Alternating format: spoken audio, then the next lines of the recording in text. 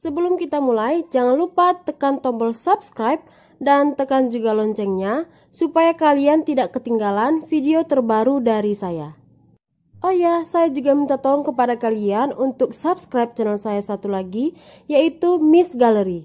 Bagi yang mau ya, terima kasih. Pertama-tama kita bersihkan dulu kemasan dari sisa-sisa pasta giginya sampai bersih dan hasilnya seperti aluminium mengkilat seperti ini. Kemudian kita siapkan kertas dengan dua ukuran. Yang pertama 6 x 8,5 cm dan yang kecilnya 4,5 x 6,5 cm. Lalu plastiknya kita lipat dua. Dari ujung kita gunting seperti ini.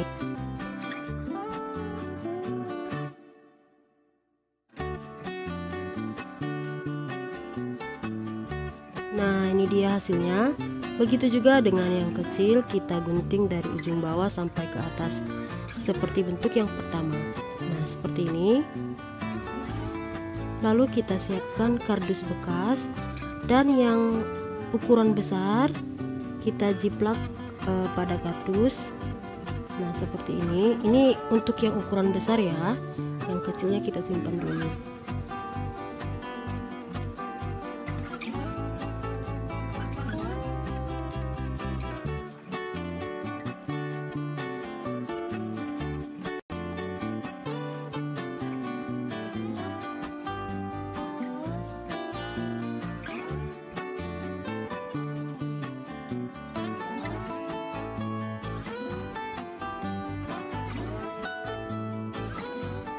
Nah ini dia hasilnya. Saya buat sebanyak 20 piece. Kemudian untuk yang kecilnya saya ambil e, kemasan yang sudah kita bersihkan. Ini untuk yang ukuran kecil ya Yang ukuran 6,5 kali 4,5 cm Kemudian ini kita gunting mengikuti pola yang sudah kita buat di awal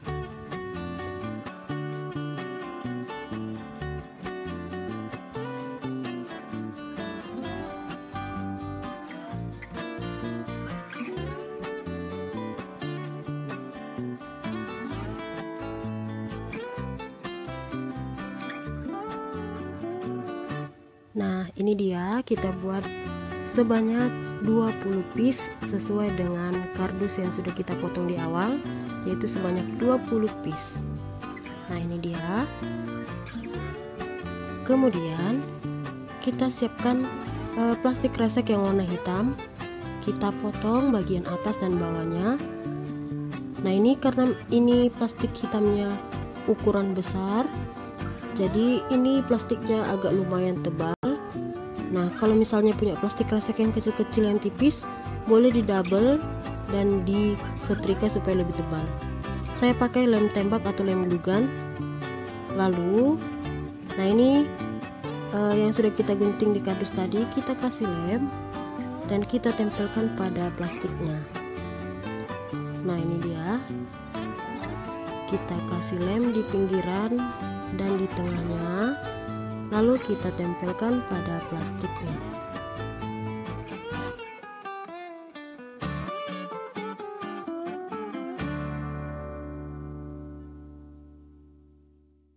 nah lalu kita gunting. Kita gunting mengikuti pola kardusnya. Nah seperti ini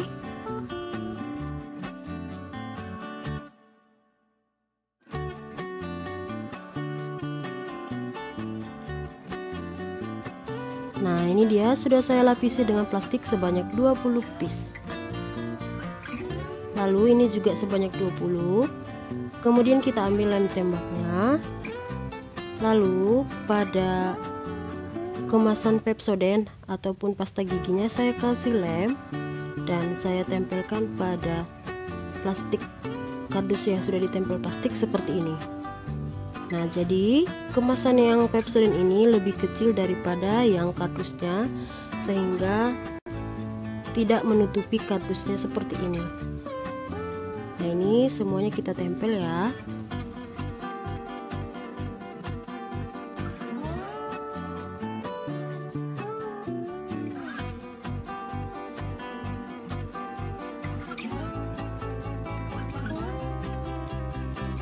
Nah ini kedua pelukisnya sudah saya tempelkan sudah jadi. Lalu saya siapkan kardus Dan jam dinding. Nah saya pakai yang lingkaran Jangan yang petak karena kita perlunya yang lingkaran. Kemudian kita jiplak di kardus. Nah seperti ini. Nah ini dia Lalu sekitar 3 cm jaraknya kita buat lagi lingkaran. 3 cm lebih kecil ataupun 2,5 cm bisa. Nah seperti ini.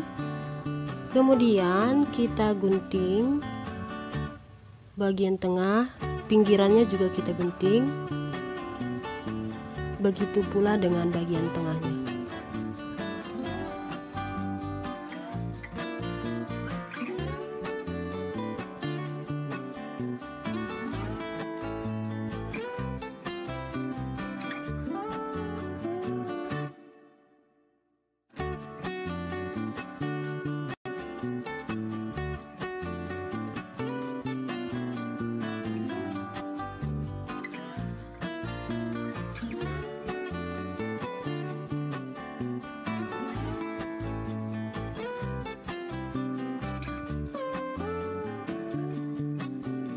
Nah ini dia sudah jadi dan kita buat sebanyak dua piece. Ini dia. Lalu kita ambil lagi kardus. Kita akan menggambar pola bentuk pikok atau burung merak seperti ini.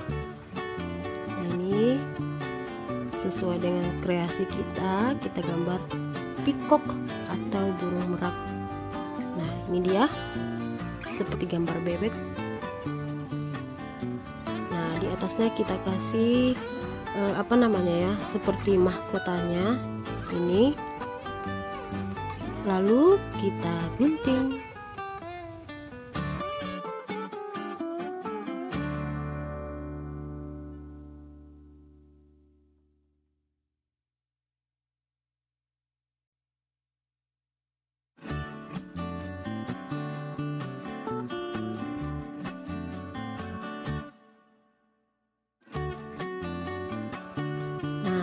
dia hasilnya. Nanti sketsanya kira-kira seperti ini ini jamnya dan kita tambahkan uh, burung meraknya di bagian pinggir. Lalu kita ambil kawat besi dengan ukuran sekitar 30 cm lalu kita lilit dengan plastik hitam yang sudah kita potong kecil seperti ini. Nah ini dia. Kita lilit sampai ke bawah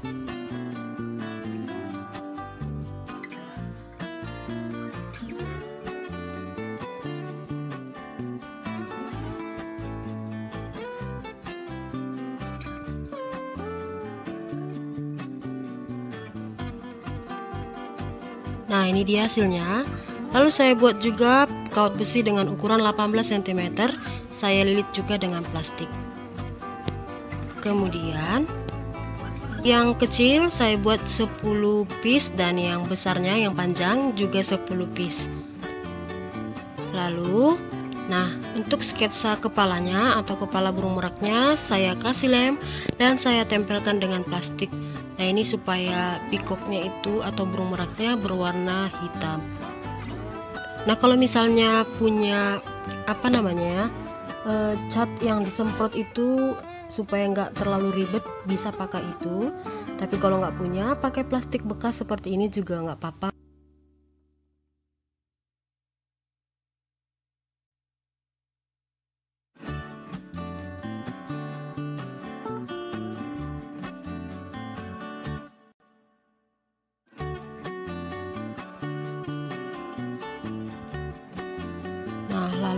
kita gunting mengikuti pola gambar meraknya.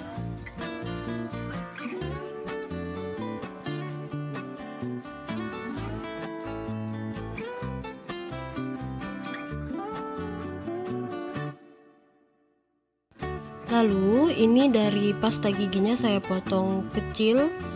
Nah ini untuk matanya. Lalu saya kasih matanya saya tempelkan.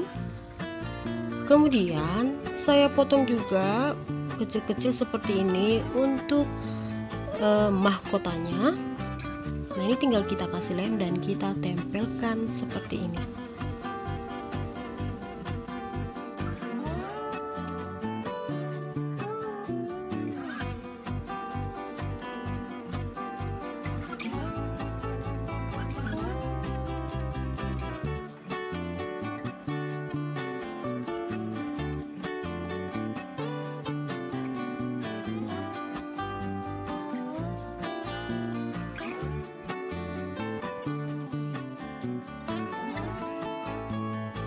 kemudian saya potong segitiga. Nah ini untuk e, paruhnya atau mulutnya.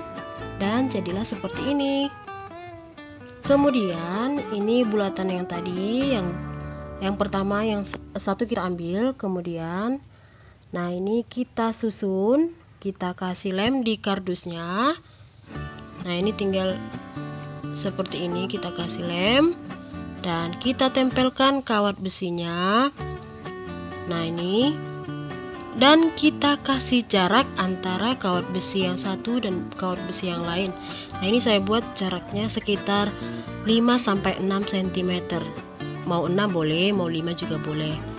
Nah ini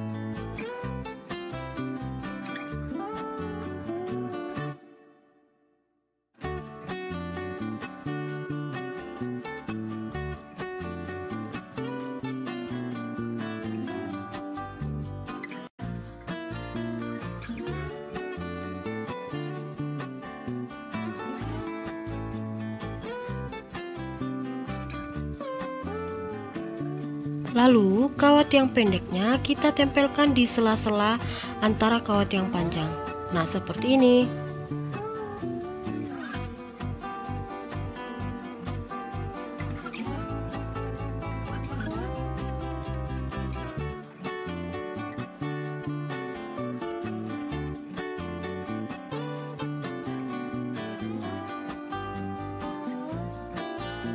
Nah, dengan jarak yang sama, hasilnya seperti ini supaya lebih rapi. Lalu kita ambil lingkaran yang lain dan kita tutupi seperti ini. Kita kasih lem dulu. Nah, ini supaya lebih kuat. Kita tutup kembali dengan kardus eh, atau lingkaran kardus. Nah, ini tinggal kita tempelkan. Ini dia, tinggal kita tekan kuat supaya lemnya menyatu.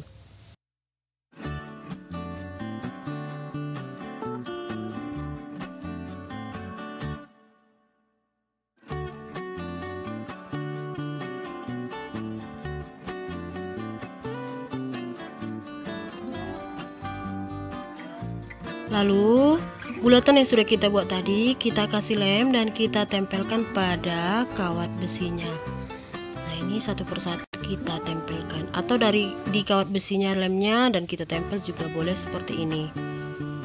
Nah jadi ini perlu 20 piece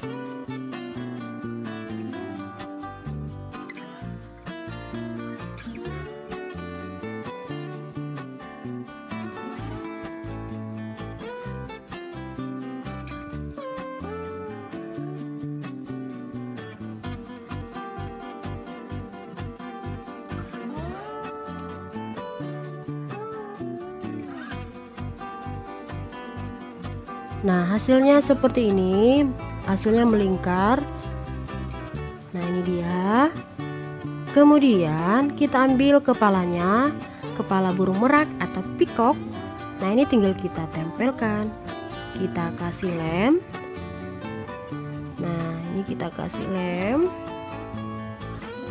Kita atur posisinya dan kita tempelkan.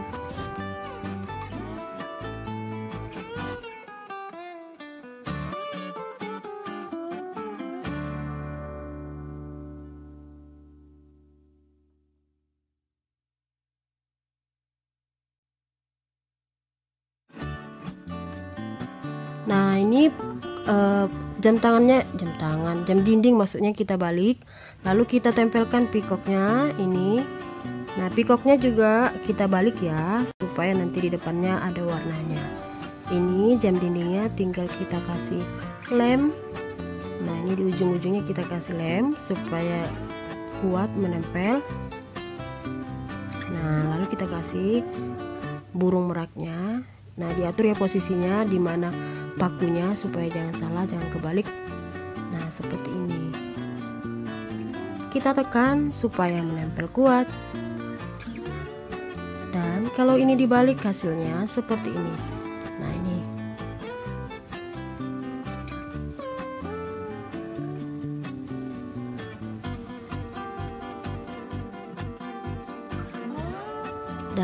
hasil akhirnya seperti ini. Nah ini hasilnya ini cantik sekali. Saya sangat suka sekali ini. Semoga kalian juga suka ya. Nah mulai sekarang ayo dikumpulkan kemasan pasta giginya. Jangan langsung dibuang.